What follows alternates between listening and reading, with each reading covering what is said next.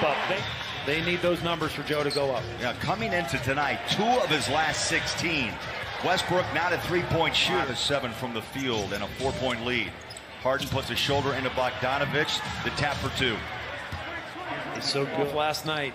Usually he's just dynamite when he's left wide open for three. Hit three of 13 shots last night. Harden with a lean-in three. Up and over Joel's off the back of the iron, trying to be tapped in by Gobert. Harden runs it on a runner, up and towards Niang. Tony Bradley with some more time as well.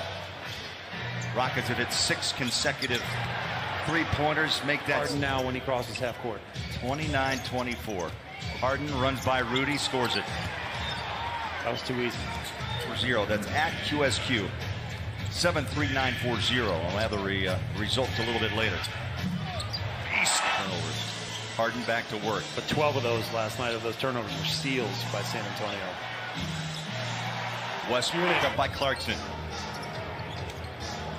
Keep your hands tight because he likes to put them right into you. And the bench. Let's see if Donovan ramps up his production. One down there. I thought they were holding and grabbing him though. Harden pumps up a three. Good. That's a tough cover. Was on display.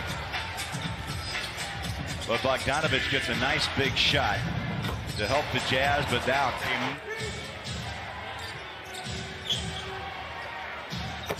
Harden straight away. There it is. Royce comes back for help.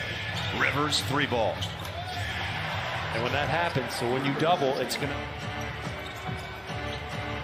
A 27 point third. A couple of Euro steps that inside like in four minutes. Watch a step back. Tucker playing catch. There's the three. It's up good. Just beat drive. Mitchell pick, picks up his second foul. Harden on the drive inside, lays it in. What a move. Man, that looked good. Covington covers up for the rebound. Here's a three ball by Harden. Got too open. It's too open. You come across that.